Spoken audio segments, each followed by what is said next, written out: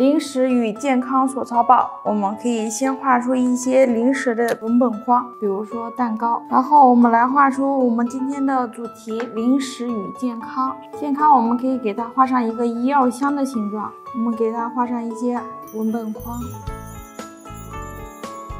然后我们来给它涂上颜色，我们用彩色的笔画出文本线条的颜色。把文字涂上红色，我们把药箱涂上红色，我们画上箱子的阴影，涂上灰色，我们画上文本框的颜色。